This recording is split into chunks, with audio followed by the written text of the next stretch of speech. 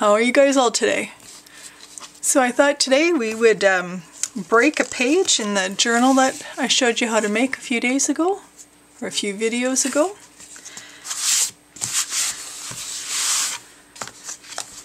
This little journal's fun. You can set up your pages to be in the shape of a diamond, or you can do it in a, in a square, traditional form.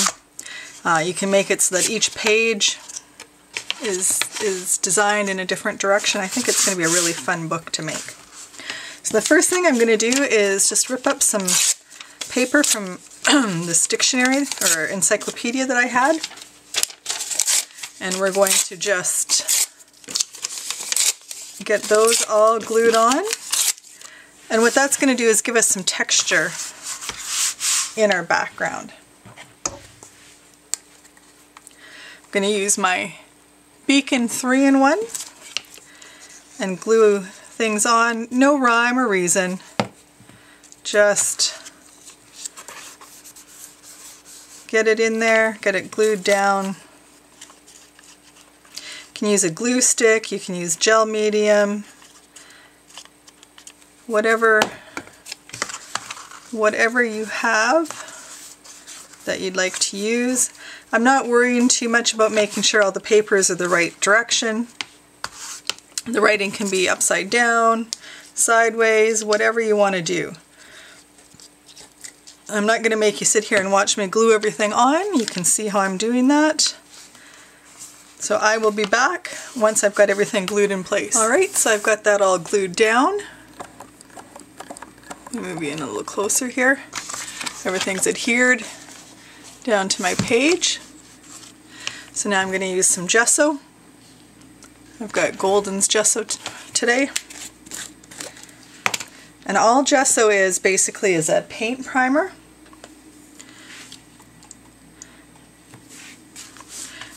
And I'm just going to give everything a coat with gesso. It is still see-through. It's not uh, not completely opaque like a like some some paints are. But all I want to do is just um, uh, get a layer of this paint over everything. And the reason why is when I come in with uh, with other layers of paint and sprays and stains and stuff like that, I just um, sometimes the old vintage paper like this uh, encyclopedia paper was uh, will absorb your inks and stains a little bit more than what you would like sometimes. So by putting this layer of gesso down and letting that dry, it will give um, uh, give a bit of a barrier between that vintage paper and my mediums. So as you can see, you can still see the words and yeah, I've got bubbles. Not worried about that. That's just another layer of texture that'll develop as, as I continue to create my page. So I'm going to let that dry, and once that's dry, I'll be back. Alright, so I'm back. That's dry. so I think I want to put this image on uh, onto my book. So I'm going to pull some of these pinks and greens. Um, let me just move you in a little bit here want to move some of the, or pull some of those pinks and greens and uh, neutral color colors into my background. So I'm going to start by mixing up some paint. So I'm going to bring in a little bit of burnt umber.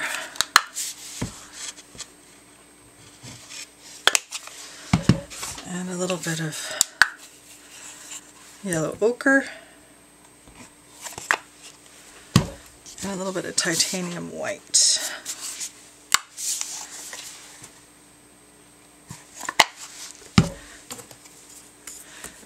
So I'm just going to mix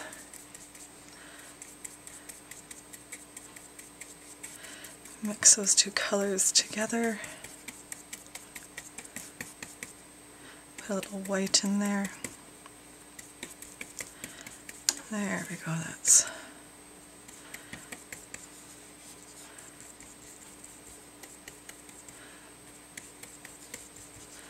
That's what I'm after, just this nice cream type color.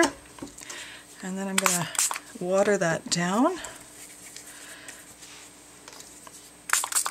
and turn it into more of a wash. Excuse me, I got a little frog in my throat. As I want this to be fairly watered down. I don't want it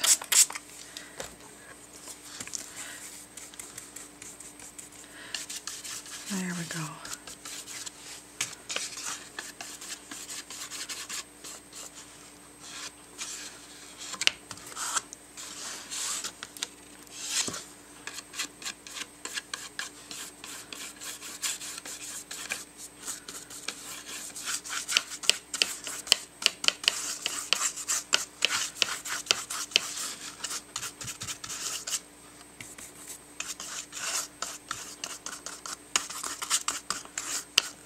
There we go. Toss that brush in the water and then, oh, I forgot a paper towel. I'll be right back.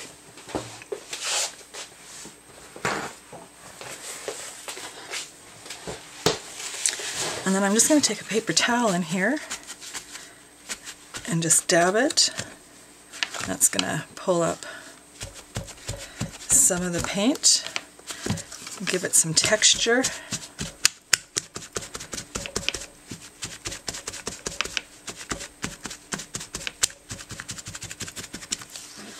Nice.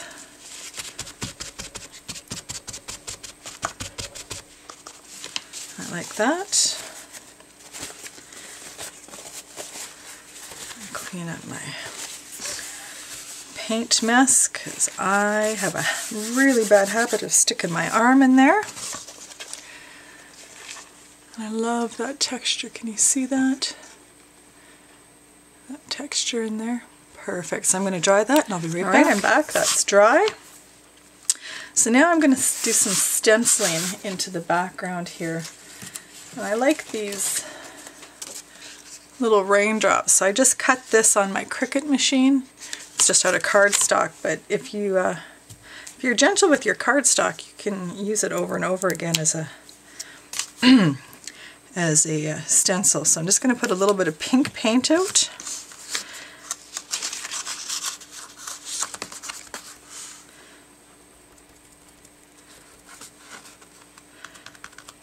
I'm using just a makeup sponge and I'm coming in.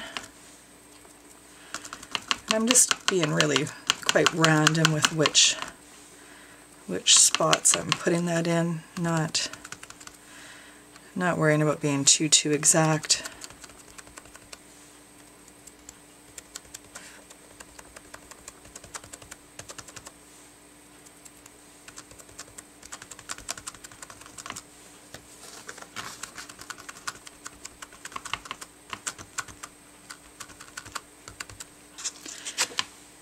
Me some pink ones in through there.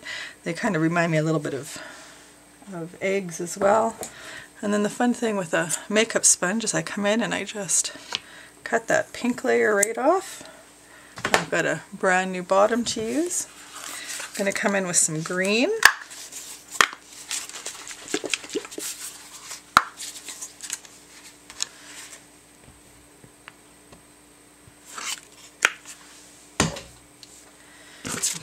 Stencil back in.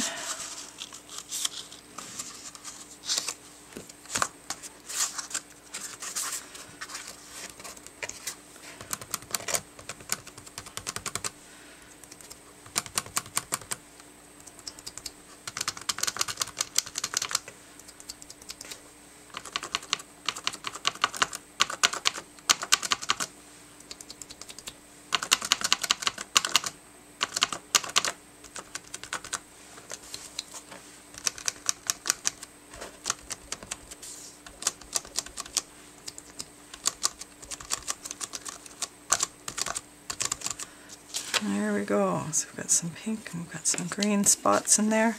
Just let that dry and as soon as I've got that dry I'll be right back. Alright, so I'm back. I'm going to do a little stamping.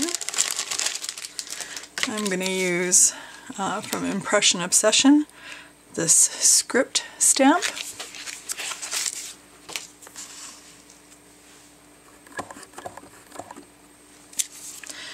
And so I'm going to ink that up. And like usual, I just put my stamp in, pick up random spots. I don't even worry too much about whether or not I've got the script going the right direction or not. I just like how that pushes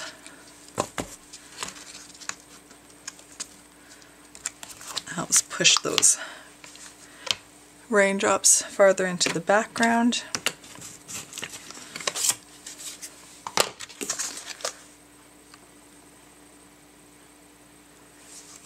I'm going to give that ink a minute to, to dry.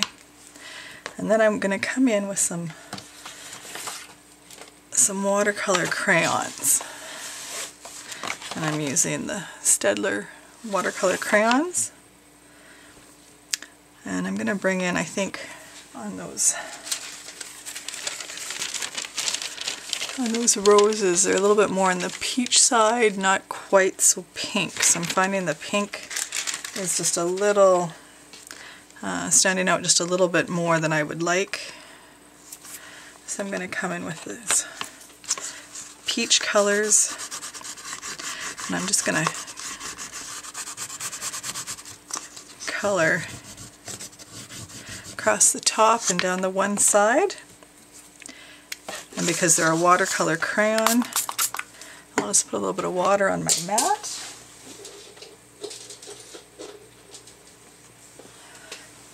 And pick that up with my paintbrush. You see how that's just, I'm going to start moving that crayon. It's going to let that run and drip.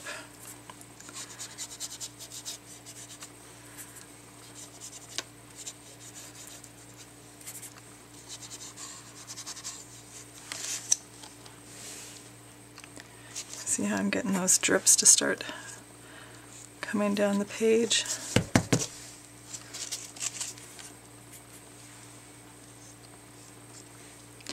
And if they're not moving as fast as you want them to, just use your paintbrush and help it along.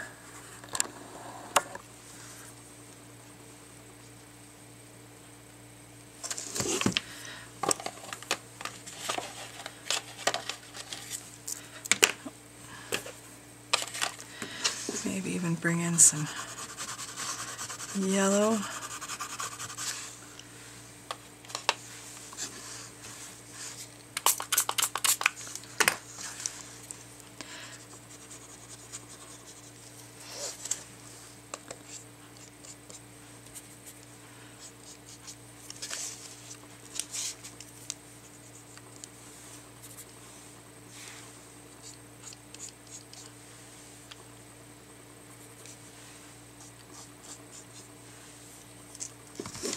Nice, and as your puddles start hitting the bottom of your page, you can use a piece of paper towel or a rag and just absorb any any puddles that form.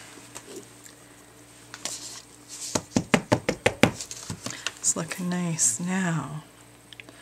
I think, I think, I think I'm going to come in with just a little bit of this orange. I'm going to bring that in a little bit more, kind of all over. And that's one of the fun things with the watercolor crayons is that you can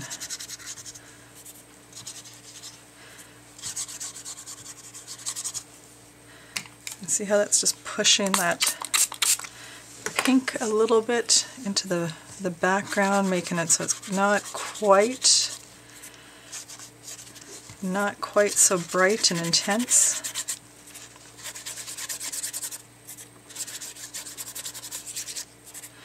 Bringing in a little bit more of that peach look and feel that the roses have.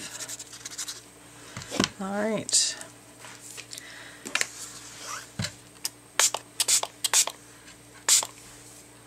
Spray that with the water, let the water run.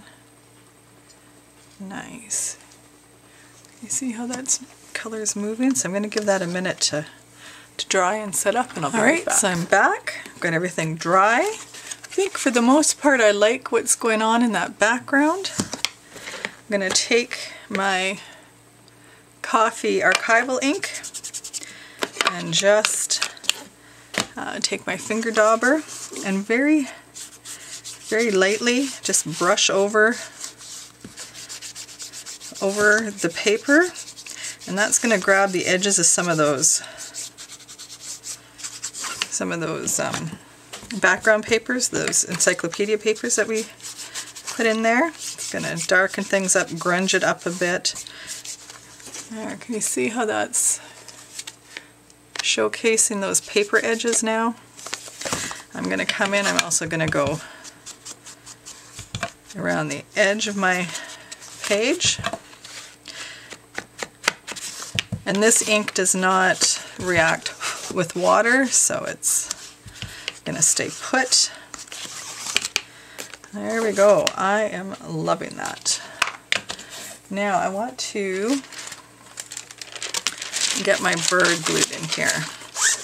Now this was an image that I grabbed from Graphics Fairy, I believe it was, and I printed it out on my printer with um, onto rice paper.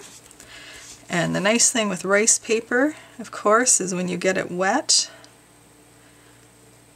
it will just come apart ever so nicely. So I'll go around my image with some water and rip that image out.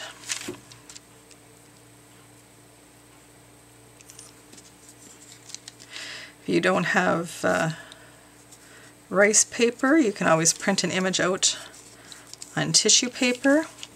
Or if you've got a napkin with an image that you really like, you can use a napkin to do this technique.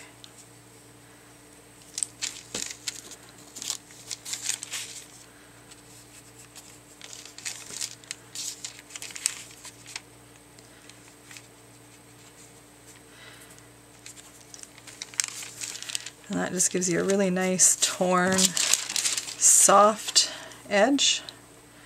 And I'm going to go around the outside edge here as well.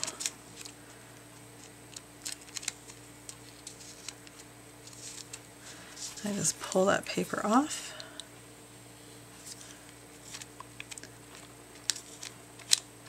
And the reason why I do this is I just don't want any hard, hard lines or hard edges to the image when I gel medium it into place. There we go. So I've got that done. Now I need a paintbrush. Sorry. So now I'm going to put that on with some gel medium. And I love how it just will fit fit onto the side of the page just like that. So I'll grab some gel medium.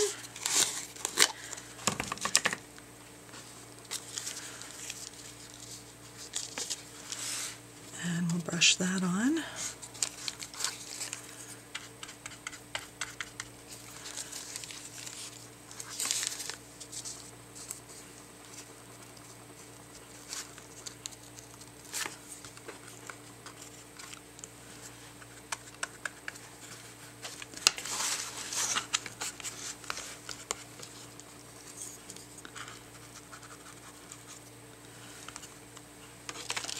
Alright. And if it rips or tears a little bit while you're getting it glued down, not a big deal.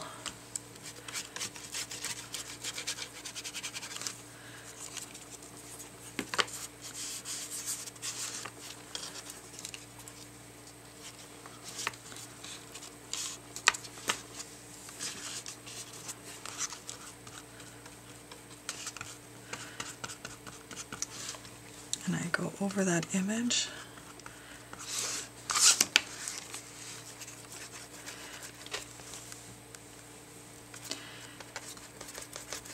And because we've got watercolor crayon in the background, you may find that your gel medium picks up some of that crayon color. And that's, that's fine. You actually want it to pick up a little tint. If you're worried about it tinting your, your whole container of gel medium, then make sure you uh, dispense a little bit of gel medium out onto, uh, onto your work surface.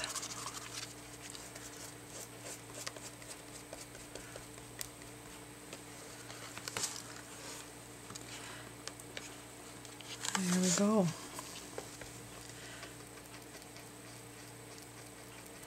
Oh, I've got a corner, there we go. So when I was adhering it down, it rolled over on itself and made a little bit of a thicker thicker edge than I want. So I'm just using my brush and pushing pushing that paper away so that it gets more of a distressed look.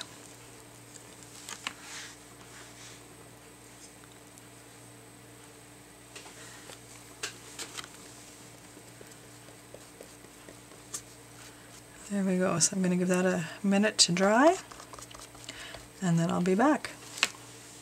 Alright, so that is dry now. I'm going to come back in with my finger dabber and a little of that coffee ink and I'm just going to brush up and around that image just to camouflage that white that white edge a little bit. And my gel medium had a bit of a gloss to it, so I apologize for the the glare, the shine on that now, but I will show you how I'm going to fix that here in a minute. Now, I um, have some of these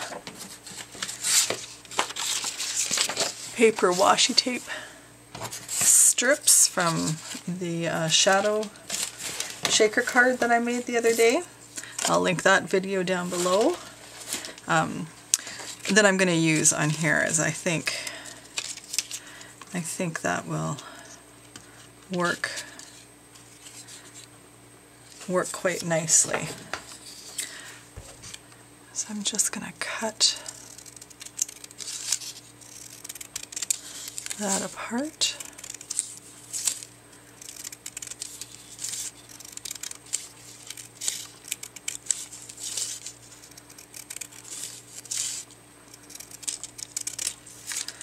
All right. And I'm going to rip it. And I'm going to rip that.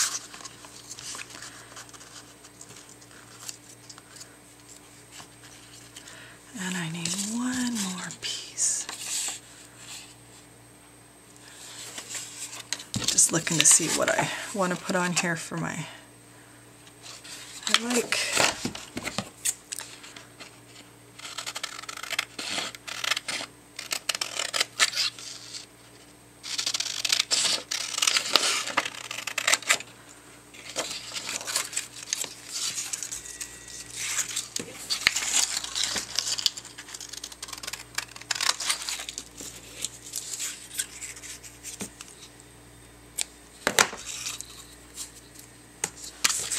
Alright.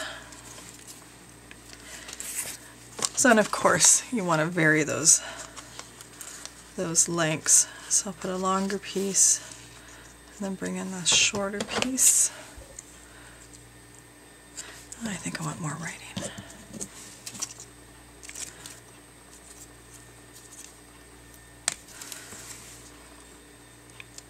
That in and then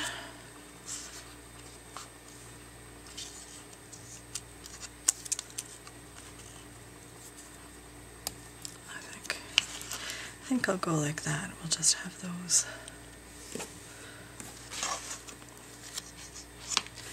Maybe, maybe not quite.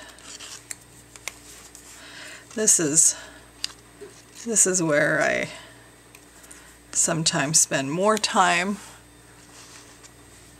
than uh, than I care to admit is just figuring out how I want to put put my strips, my embellishments on a page. So I have lost my little finger dabber. I just want to come in and make sure you edge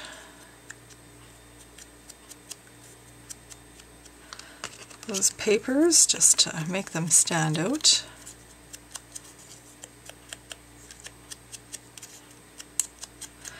Alright, so I'm not going to make you watch me do this. I'll be back when I've got that all uh, edged and adhered. Alright, so I'm back. I uh, didn't like how glossy that gel medium was drying, so I um, went and got my golden gel medium matte and went over the image with that and you can see now that it doesn't have that that glossy glare anymore and you can see the image so much nicer. So the next thing I'm going to do is I'm going to pick the quote that I'm going to put on the page. And I just went online, went on my computer and found a bunch of quotes that I liked about flying. And uh, I think um,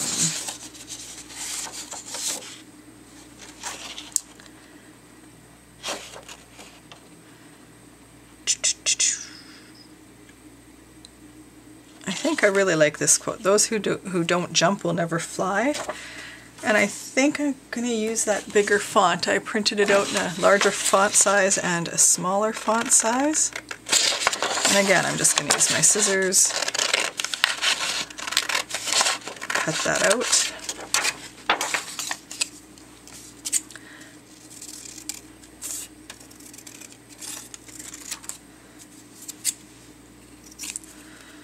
And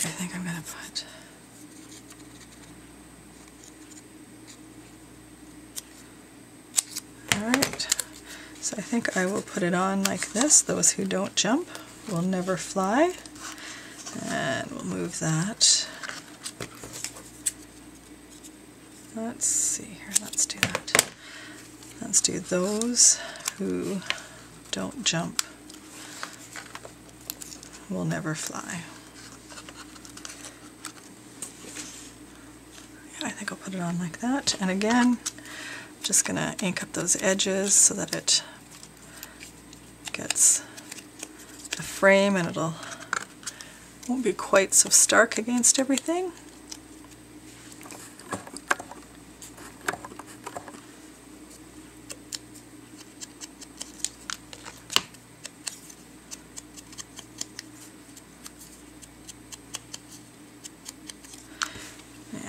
The other thing I want to do before I put that on, it wouldn't be a page mine without some splatter.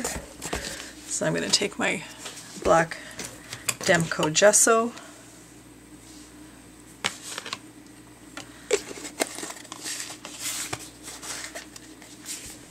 water that down to an inky consistency.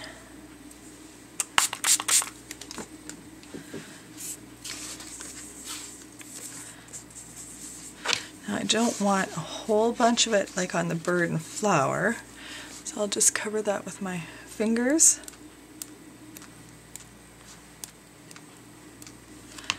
But let it fall everywhere else. There we go. That gives me a nice splatter everywhere. And while that's drying, I'm just going to dry those right spots back. And, back. the spots are dry. Really, really happy with how that's looking. Those who don't jump will never fly. So I used my Beacon 3-in-1 to glue down my faux tissue tape. And I'll use the same thing to glue down my words.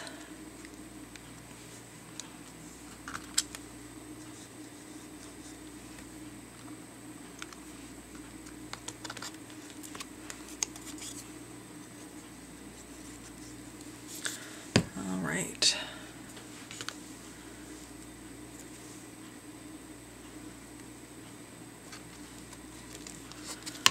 Perfect. And I've got a black Sharpie, fine tip. If you've got a micron pen or anything like that, that should work. And I'm just going to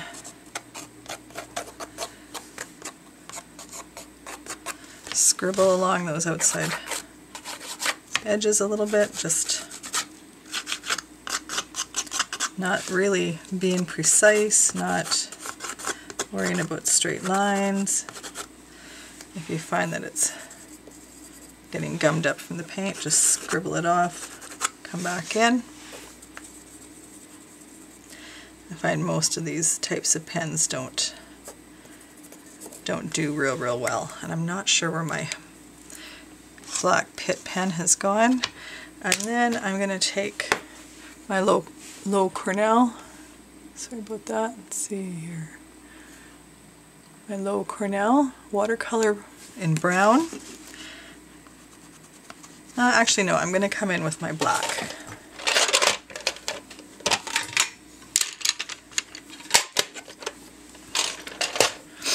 and I'm just gonna come in and go around.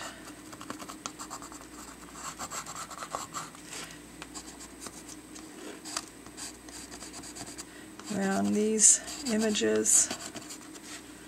And around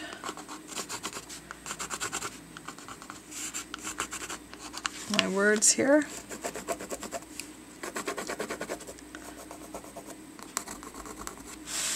And a little bit of water, a little bit of water on my brush. And that should just add just a little bit of shadow in around those features.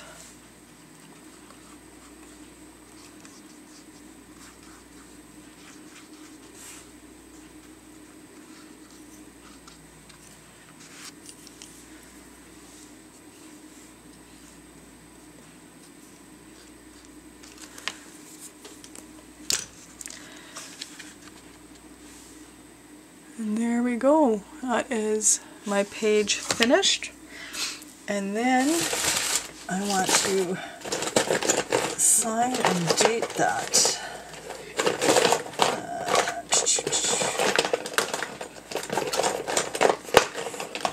see, let's see if my Sharpie will... Ah, what is today? Today is March 2nd. 03, 02 of 21. All right, there we go. Thank you for joining me. Leave your comments down below. Give this video a thumbs up if you learned anything or if you enjoyed it. And I'll see you on my next adventure. Bye-bye.